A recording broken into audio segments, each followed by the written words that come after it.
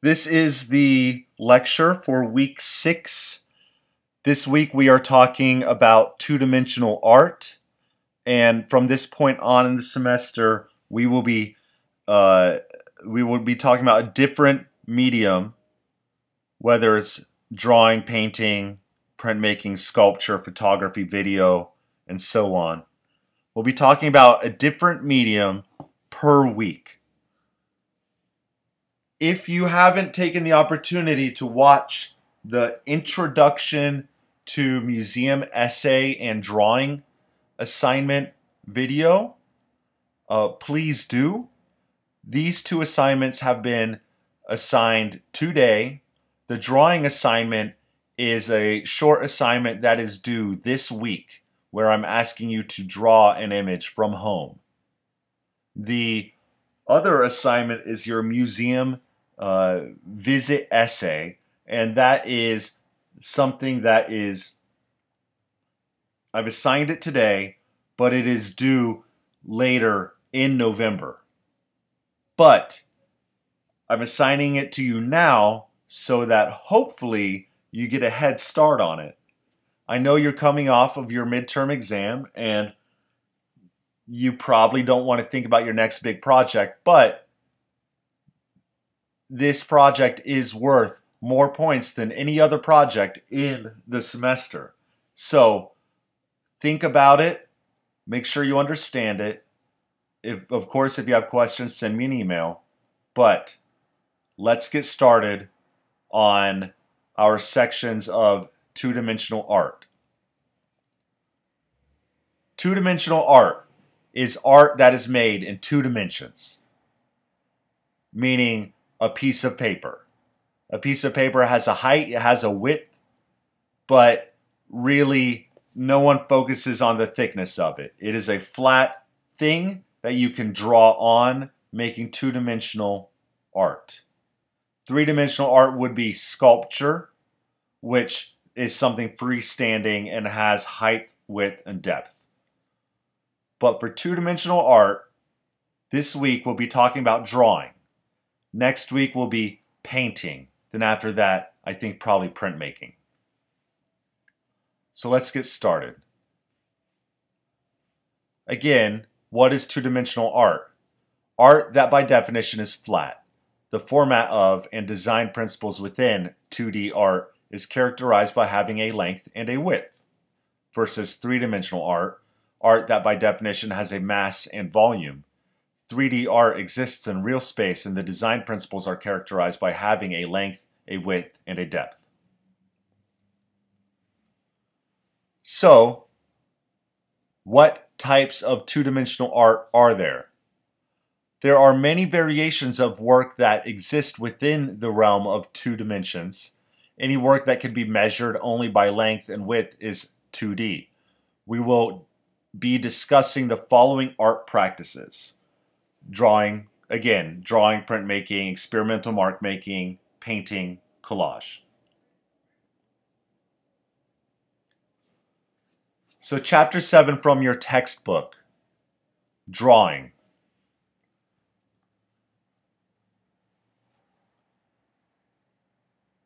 Types of drawing. Drawing. Images produced as a result of running and rubbing implements across a surface. Think of crayons when you're growing up or pencils. It's rubbing that implement across the surface makes the drawing. Drawing is the most basic of the visual arts and perhaps the most accessible. Every child makes their first art with crayon and paper. Drawing is itself a point of entry into art and art making.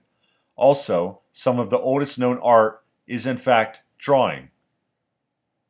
There are three categories that describe most drawings. Sketches. Quick drawings that record ideas or provide information. Have you ever heard of a sketchbook? Artists carry around sketchbooks.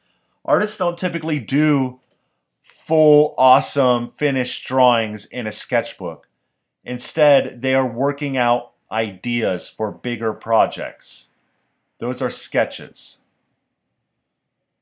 Other drawings are plans or preparatory studies for other projects. So plans would be like imagine a blueprint. Uh, architect uses blueprints, but they're more plans in terms for art is more technical. So the plans will often be in sketchbooks as well. So sketches are more ideas, but plans are kind of figuring it out. And then another type of drawing is just fully developed and autonomous works of art. So those are the drawings that look awesome. They're the ones that are done, the ones that um, are just just beautiful in themselves. So three types of drawings: sketches, plans, and then just a finished drawing.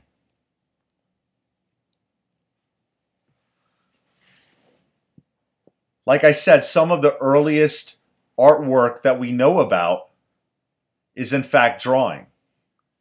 And if, so here, the earliest known and best preserved drawings, these drawings or, or paintings are found in southern France. Just to give you some perspective, Homo sapiens left Africa 75,000 years ago. The Great Pyramid of Giza was built 4,600 years ago. These drawings are about seven Great Pyramids old. So we left Africa 75,000 years ago, and these are what, 20 or 30,000 years old. Down here, you'll see in my description, it says cave paintings um, in southern France, and then you see something that says 32,000 to 30,000 BP. You'll see BP in uh, more current archaeology. What that means is simply before present.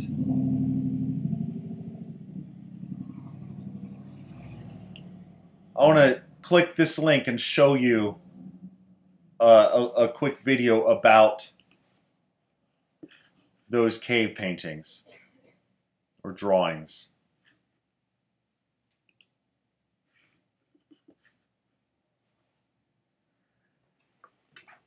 This is a preview for a film called Cave of Forgotten Dreams.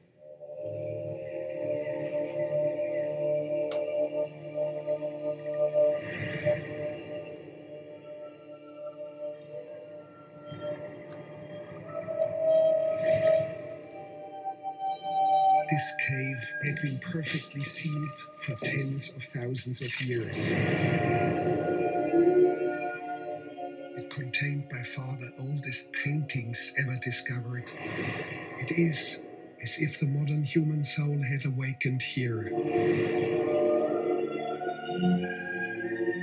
This is one of the rare times anyone is allowed inside the cave. This may be the only and last opportunity to film inside. The first time I entered a cave, it was so powerful. Every night I was dreaming of lions. There are no barriers between the world where we are and the world of the spirits. A wall can talk to us. After five days, I decided not to go back in the cave because it was an emotional shock.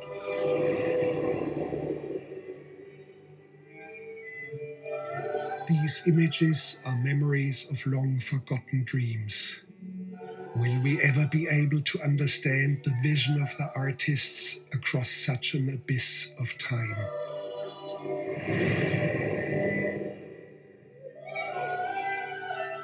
Silence, please.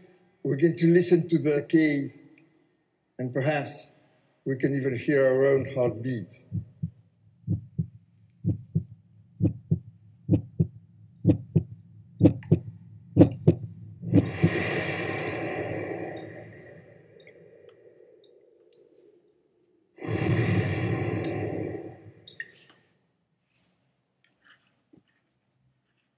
So this documentary, The Cave of Forgotten Dreams, it is actually really good. If you have a chance to see it, it's great.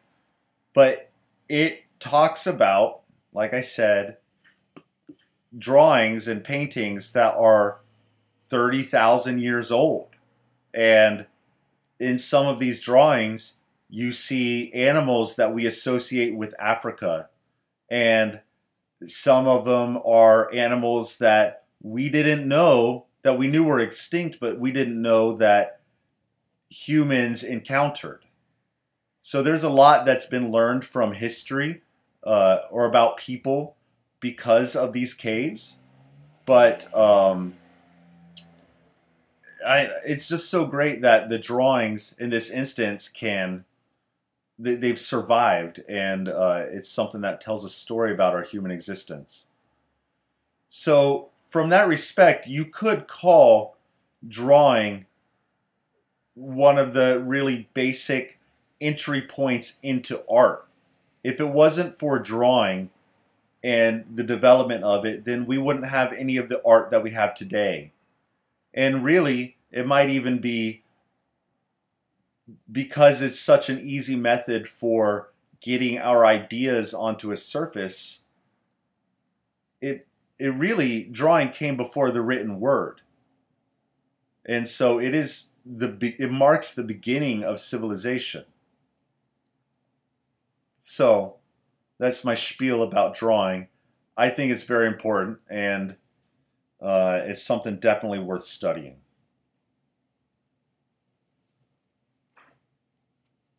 So again, drawing be the entry, being the entry point to artwork. Uh, everyone that I have ever met has drawn pictures. Think back to what pictures you have drawn. Did you draw a lot as a kid? Do you draw a lot now? The first entry point into art is drawing. So this is a drawing surprise, it's by me. I have a few drawings from when I was a kid that, uh, and I, I like sneaking this into the presentation. This is, of course, of Moses turning the sea into blood. And I drew this in 1992, and I would have been five years old when this was drawn. So, five year olds drawing telling stories, getting images across. So here's an example of some sketches. Again, sketches are quick drawings that record ideas or provide information. So a sketchbook or your notebook or whatever, that's where your sketches can go. These are sketches by Leonardo da Vinci. I'm sure you've heard of him. He's He's, uh, you know, legendary. Anyway, these were drawn um, in the Renaissance in the 14, late 1400s. And these are his inventions for how stuff might work. So this is pumping water. It's his invention for pumping water. This some of these drawings are rather technical. Not all sketches are so technical, but really, he's working out the ideas. You wouldn't be able to build anything based off of these sketches, but it's working out the ideas. This is a finished artwork, but what I like about it is that it looks like a plan, a plan for something that could be made. So uh, plans are preparatory studies for other objects. This large cabinet, preparatory study. And then, of course, there is fully formed 100% official artwork. Of course, drawing is a perfectly perfect, accessibly accessible, and wonderfully wonderful means of producing amazing art. Check this out. It is a fully developed and autonomous work of art. This is by an artist that I really like named Robert Longo. All charcoal on paper. And what charcoal is, is literally burnt wood. It's what you pull out of your fireplace. So this is a larger than life drawing. Well, not, I guess, technically not larger than the size of that bomb, but it is a very large drawing. It is about eight feet tall and about six feet wide. But it's beautiful.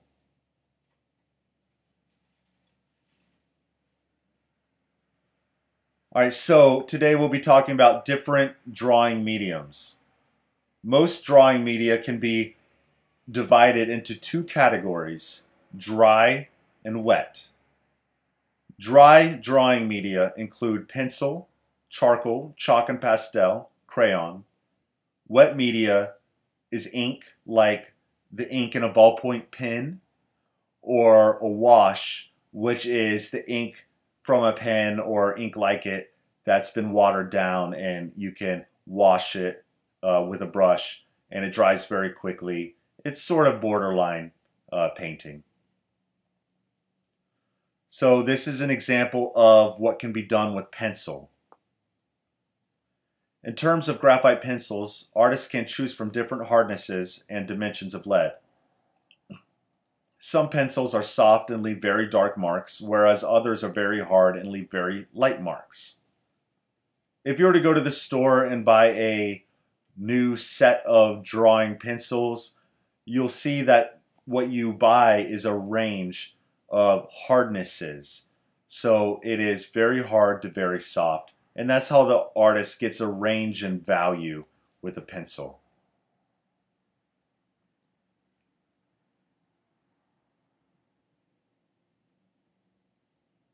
This is another great pencil drawing.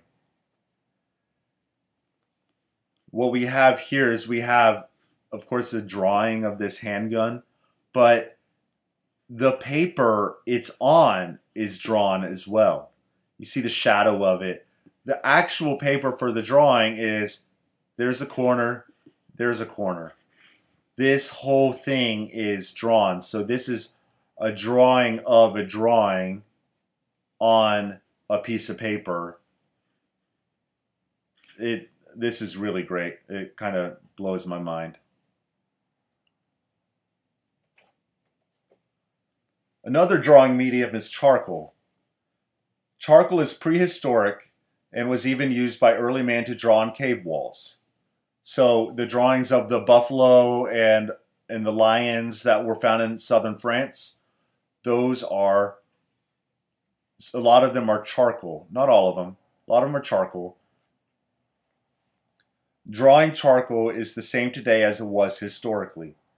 Char- charcoal is either made from charred wood or charred bone. So this drawing by Jenny Saville, um, she, this is uh, this is charcoal. Another charcoal drawing. This one's way more smudgy. That's something that you can do with charcoal. Charcoal can get pretty messy, but uh, it's it's good for that reason, and also it's it's good that you can really get really dark darks.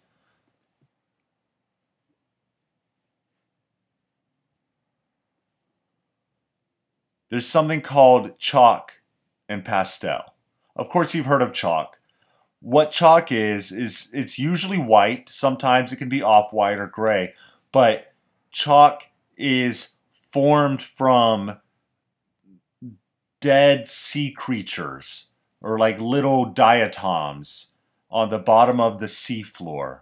And when the ocean recedes, you get these giant deposits of of what's called chalk. And uh, parts of England are actually, you dig down under the soil and you hit chalk. So, so chalk is a mineral and it's mined from the ground.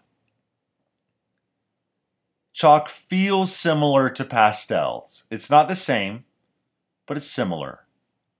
Pastels are, you could describe them as colored drawing sticks or it's like chalk, but it's got color in it. They they have uh, pigment suspended in a binder and baked. Pastels are all the colors, all the colors of the rainbow. So what I mean by pigment. Pigments are typically natural and they come from different parts of the world.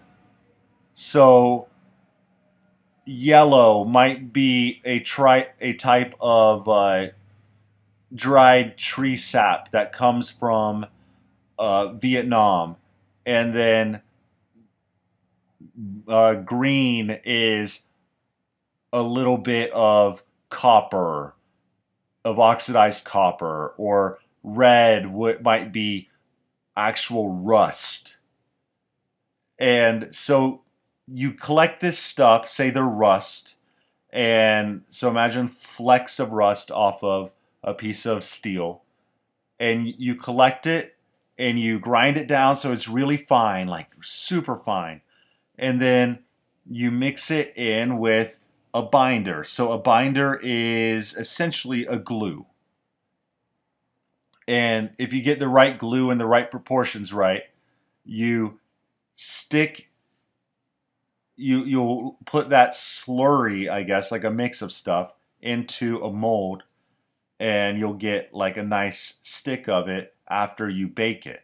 So you put it into a mold, bake it, all that glue or oil or whatever it is sort of evaporates out and what you're left with is this pigment that is in the form of a stick like chalk that you can uh, draw with. So this is a drawing made by a wonderfully talented but uh, morally corrupt man named Paul Gauguin. Um, this drawing is of, uh, you know, it's a pastel drawing. Here's another pastel drawing. This time the artist used black paper, and so he did not use any black pastel. He just added color on top of the black paper. And on top of black paper, in this instance, the, the pastels really pop. Believe it or not, this is charcoal like we spoke about before, and it's also pastel. And what we're looking at is an artwork that's a rectangle. And then this package, this blue package, is drawn on top of the rectangle. So you can get super detailed if you know what you're doing. And, you know, this is obviously photoreal. I make a lot of art myself. I'm an artist and I draw a lot, but there is no way I would be able to make this. It's beautiful though.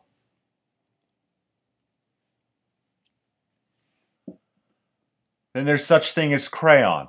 Now, we have Crayola crayons that we grew up with.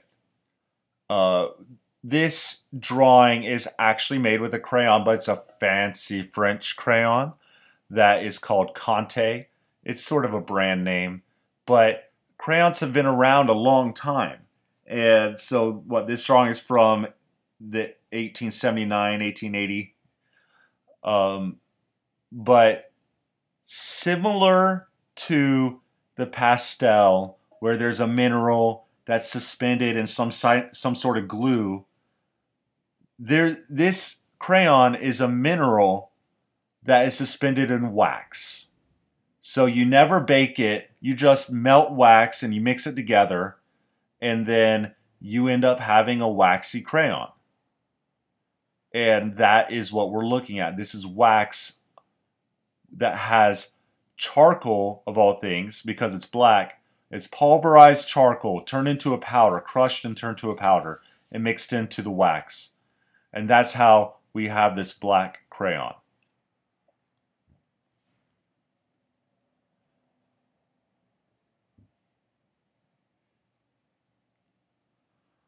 Another drawing done with crayon. This is from 1944. This is a famous, uh, what's called outsider artist. So that is, an outsider artist is a person who, by definition, doesn't have a formal education and uh, is working alone, um, sometimes in seclusion, and so they start coming up with uh, crazy artwork that is outside of what we are familiar with. These are outsider artists. All right, so like I said, ink, you can draw with ink, so that is a wet medium. By far, the primary wet or fluid medium uh, used is pen and ink. Ink, in one form or another, developed independently in many cultures around the world. Ink has been made from the sap uh, in trees, crushed plants, tar, and carbon. So, what ink is, is essentially a mineral, just like in crayons or pastels, that are mixed in to water or something like water, and it's just floating in there. And then you can use a brush, use a pen, but you can use that and draw with it.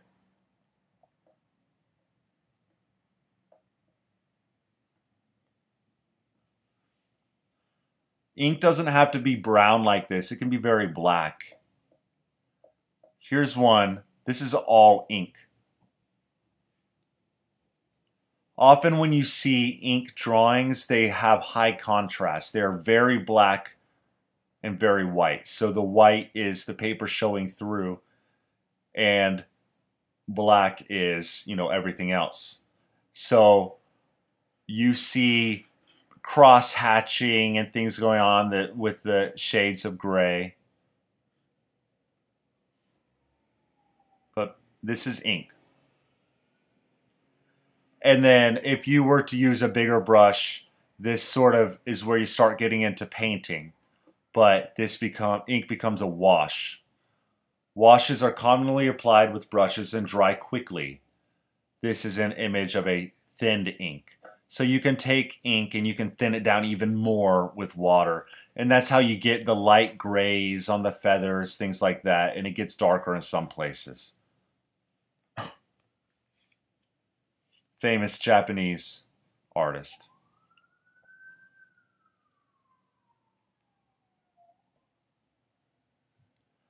Another ink drawing.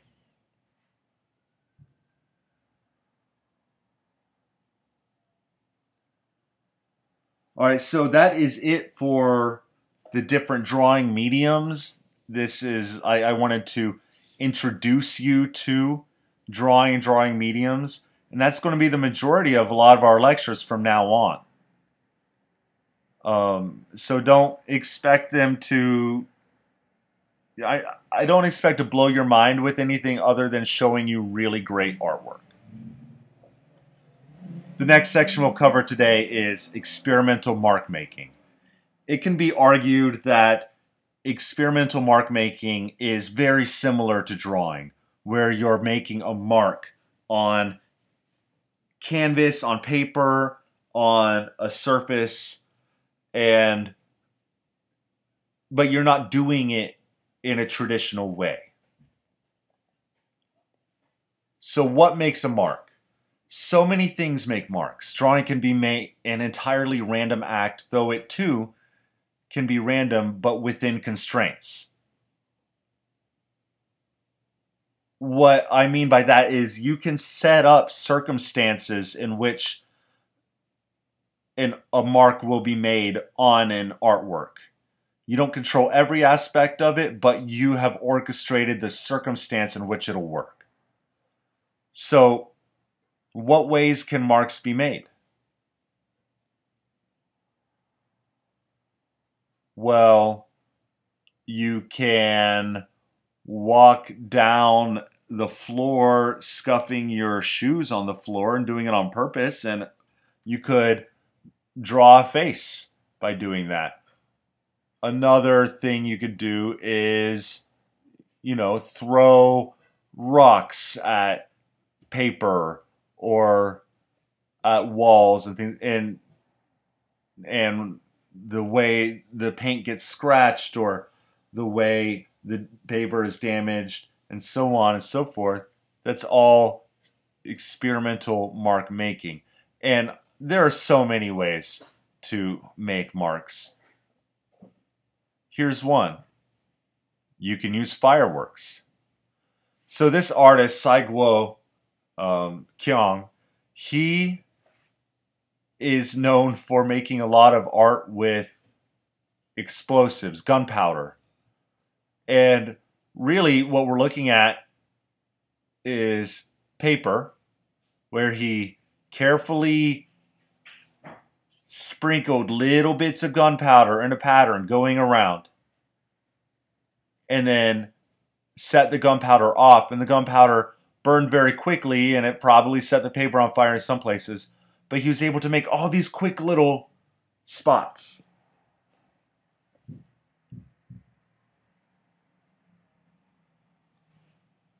Here's a collaboration between an artist named Dennis Oppenheim, who was a mostly a sculptor, um, but this is uh, between Dennis Oppenheim and his son. Can you figure out what's going on in these images?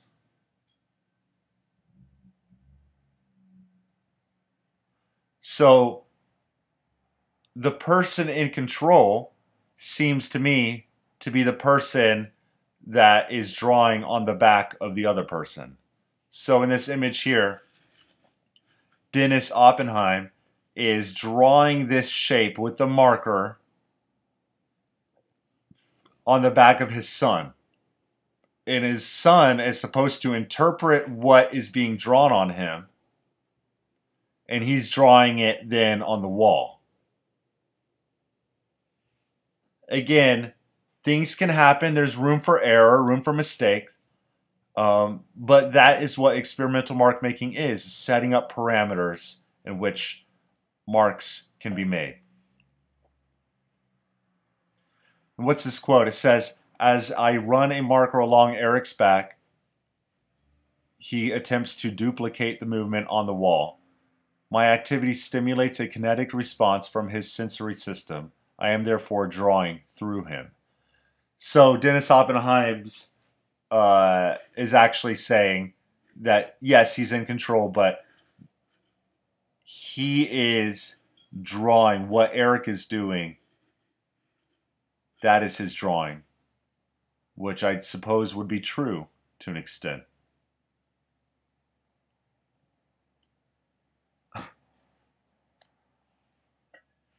This is a fun type of drawing that we see. This is called an exquisite corpse, and I hope I can explain this to you well enough. And this would be a fun thing to do with uh, friends or with your family. And you might have done a version of this in school, I don't know. But exquisite corpse, it's uh, it's collaborative where you fold a paper. If you look closely, you can see a seam here and, a, and a, a fold here and a fold here. So these, it was folded three times to make an accordion. And so for this drawing, one artist, these are the artists that worked together on this drawing. One artist drew the head of a figure. And it looks like they drew two heads. But they folded the paper over hid the heads from the next artist, and then the next artist had to draw the torso. Then the next artist, then they folded, and the next artist couldn't see either of those, and then they drew the legs. And then they had to figure out what the the last artist had to figure out what the figure that he doesn't know is standing on, and he comes up with this. So that's a collaborative approach to mark making.